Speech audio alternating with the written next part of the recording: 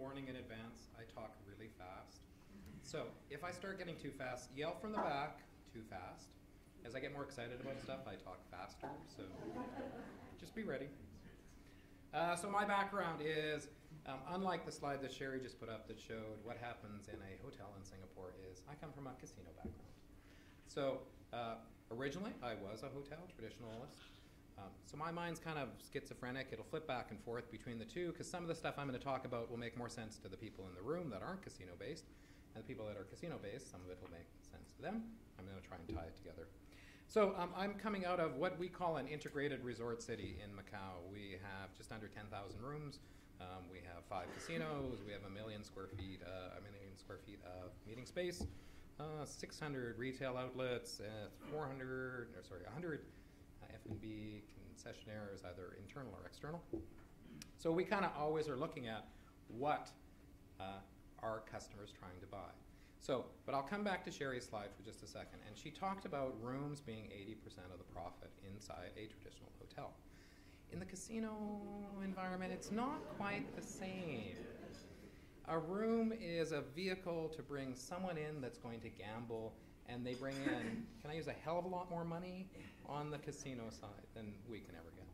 But what we start to do is we start to analyze data, really looking at what is a customer buying? And there's many different things in an integrated resort that can be bought. So we've got guest rooms, we've got food and beverage, of course we've got the conventions. Um, in our case, we've also got um, transportation.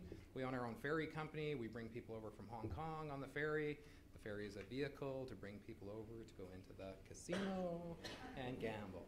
Uh, we have buses that bring people all around the city, and they're a vehicle to bring people in to work in the casino.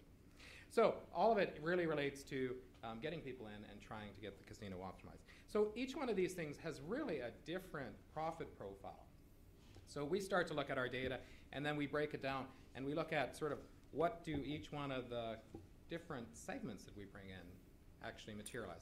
And these numbers are somewhat fabricated, but they're somewhat accurate. It'll give you an idea of what does a group room mean to us.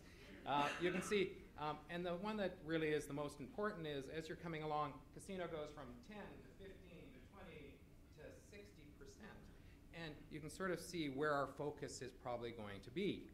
But each one of them, there's a different profit profile, there is a different um, spend, also depending on where the customer is coming from. So if we have someone that comes in out of Thailand in a wholesale environment, they're going to spend somewhat different than someone that comes in out of Shanghai. And we have databases that are really, really, really strong on the casino side. And then we have the same databases that you guys are working with on the non-gaming elements, uh, generally Opera, or we used to be LMS, so there's a few other databases that are out there. And we use it to try and extract as much data. And we also then deal with a huge enough database to get uh, statistical validity. So we're talking on average a million plus rooms, uh, so when I draw the data and I'm down to 30,000 rooms that have been purchased out of Thailand, I can get a pretty good idea what the Thai people are going to be spending depending on the segment that they're coming in. So I flip to the next, and this is where I start to get a little bit, this is me actually moving finally. I start getting a little bit schizophrenic because I was not going to put corporate first because the number of corporate rooms that we have over the period of the year is under four digits and across, like I said, millions and millions of rooms that are sold. But it was what was the most important thing to me when I was actually in a corporate environment. I worked with Hilton, I worked with Langham, and most of the time we were looking at how do we assess these types of business, and we look at what do we want to go into when we're dealing with a corporate account. And in many cases, um, Macau is a leisure market, so we're weekend focused. Friday, Saturday, Sunday are the busiest days. But when you get into a corporate hotel, um, Monday, Tuesday, Wednesday are the busiest days. So you tend to have sort of a flip of what we're looking for on either side. If I'm looking at the corporate accounts, of course, you always look at the number of rooms that are coming in. But you really want to look at what is the pattern.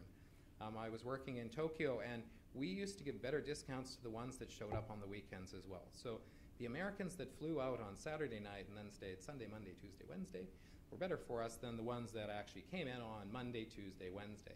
So again, the pattern then becomes important. You want to touch the weekends whenever you're on a corporate account, but you don't really want to touch them when you're on a leisure-based business.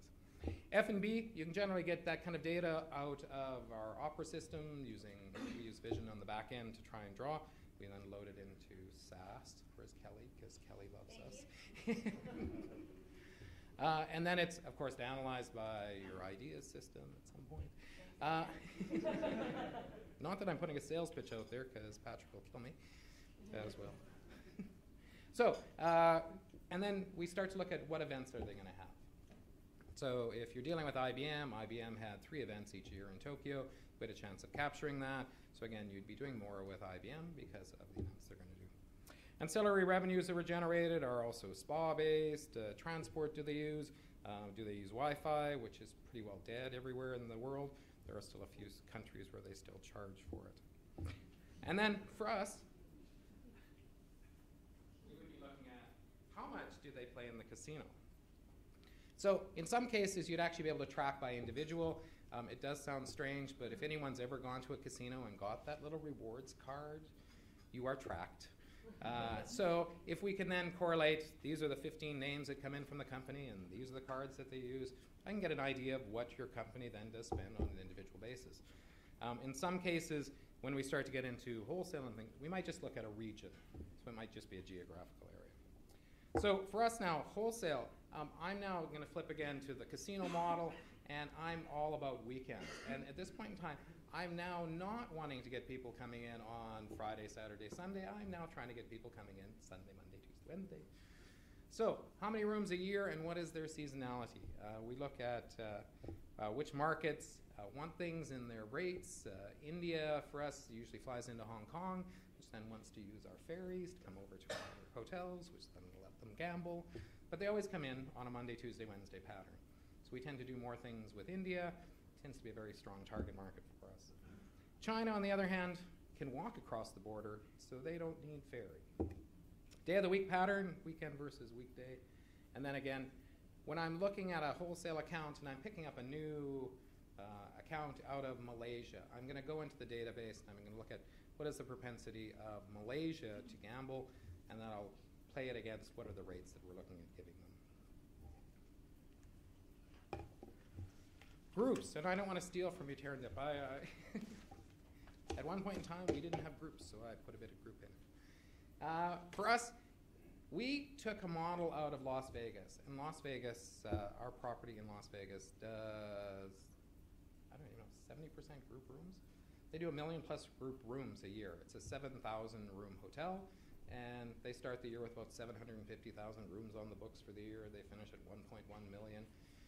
We are not anywhere near those numbers, but we took a model from them, and it was more about trying to figure out if I give out too much space, if I give away too many meeting rooms, can I still get the number of rooms that I need in to actually hit my goals? It's almost backwards to the way a traditional hotel would look at it because in most cases you have lots of meeting space and you're trying to optimize, you're trying to use as much as you can. But this is, comes from a hotel model where there isn't enough meeting space even though it is a million plus square feet. So everything really started to look at what are the patterns of the room usage. And we used to call it uh, space group ratio. And at 110 square meters, you were too much space. You would be called a space pig. And we would do everything in our power to try and bring down the number of meeting space meters that you were using. But when we're looking into group inquiries, again, same day of the week pattern for us. We all want them during the week. I only want them Monday, Tuesday, Wednesday, Thursday possibly. I don't really want them to touch the weekend. If they're going to touch the weekend, I'm going into huge displacements, so I tend to try and avoid that. Um, how big is the discounts on room rates? Uh, we also have another kind of strange model inside of our company, which is there is nothing that's really free. So if the casino gives away a room, the casino marketing department pays the hotel for the room. If Brian gives away breakfast on a group, Brian's room rates pay for the breakfast. If Brian gives away a ferry, Brian pays for the ferry. So everything is always paid for. There's a, a, a counter marketing account that really covers everything. So you got these huge expenses then because you're paying for thousands and thousands of rooms or breakfasts or, and it's constantly moved back and forth. It starts as revenues, ends as expenses, and this is the way the model works inside the casino world. So when we start to talk about what are the things that are being given away in concessions, it's all about um, what does rooms need to pay for into these other departments to make sure that this business can actually come in. Um, for us, we generally work at about a 10% concession on room rates. We work at about a 5% concession on overall, um, but that is a 15% reduction out of the rooms area. And then in the end, this one is really important to us. It's the casino ones. And we look at this as uh, prime dates, and prime dates for us are Chinese New Year's, Labor Day, uh, Chinese National Day, um, and a few other Chinese holidays throughout the year. for some reason, the Chinese love to gamble, and they're good at it. Uh, day of the week pattern. So there's price points generally that are charged out to the casino, and we use pretty flat rates. We use a weekday rate, we use a weekend rate, but then each person that's coming in needs to gamble enough to create something that's called reinvestment, where we don't want to reinvest more than a certain percentage based on what they're going to gamble. So hypothetically, it could be 20%. So we would spend $200 on a room for them if they were going to gamble 1,000 US dollars. If, and that's a hypothetical, as I can't give you the real information. So we deal with five different teams on the casino side. Some of them are very high, high-end gamblers. Some of them are very low, low-end gamblers. And you're constantly looking at which one of them is going to bring in the right number of rooms. So profit by team, uh, there's sort of a rule of doubling in profits in the casino. Um, if you look at the very, very high end, it would seem like they would be the most profitable, but generally they are the least profitable by percentage. So they might only bring in 5% profit, even though they gamble huge dollars. The next one would bring in 10%. The next one would bring in 20%.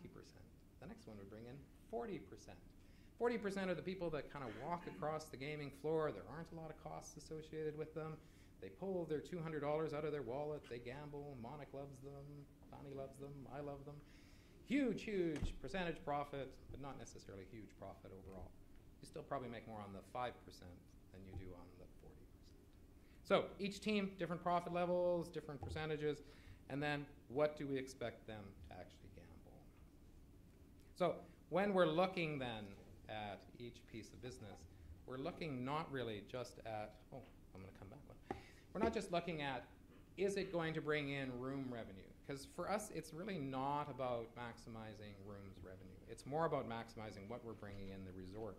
And we're doing a lot of manipulating of the mix, and I know Stefan talked about that as sort of a basic 101 that needs to be done. Um, but we could be doing mix changes in a massive scale, in that you might end up with um, wholesale accounts going one year from 20% to the next year being 40%, to the next year being back down to 30%, um, by simply controlling the light switches, because the wholesale isn't bringing in as much as we need on the gaming floor as something like groups. So what I really wanted to emphasize is make sure you can figure out what data you have. Start mining it. Start looking for patterns. There will be patterns. It'll probably take you guys a bit longer because we can create enough data in about three or four days to find a pattern. Uh, it'll take you guys maybe a month or two months, but there are definitely patterns on what everyone is spending. So go out and see what you can find on your data. And that's, I'm handing over now to Taryn Duke.